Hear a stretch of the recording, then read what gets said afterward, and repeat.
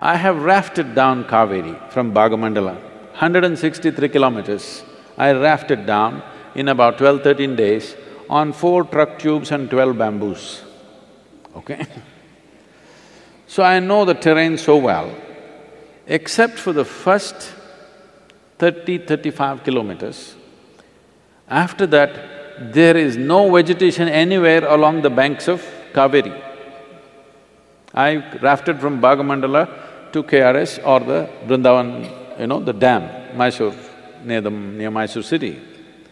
And only first 25, 30 kilometers or 35 kilometers is where forest vegetation is there.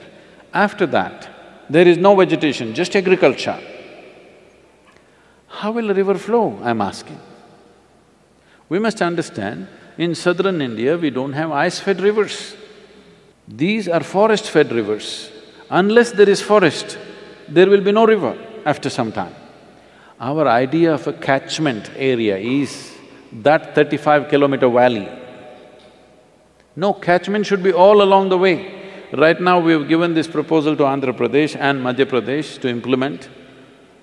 All along the Narmada river, right now this experiment may start sometime, we are trying to get uh, national environmental policy on this. At least one kilometer on either side of the river, wherever the land belongs to the government, we must do afforestation immediately. Wherever it belongs to local farmer, not to the government, you must move from agriculture to horticulture.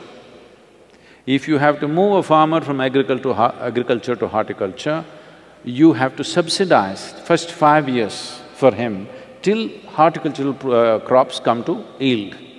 Once it comes to yield, if these hundreds of kilometers of horticulture happens, then you must set up, you must incentivize private sector to set up industry, allied industry, which will absorb these products. If you show him the economics, by planting trees, having horticultural crops, you will earn more than ploughing the land. No ploughing, no fertilizer. If this much you take care on at least one kilometer, one kilometer I'm saying as minimum, if you do more it'll be great. At least one kilometer, you will see in fifteen years' time, Kaveri will be at least ten to twenty percent more water flowing.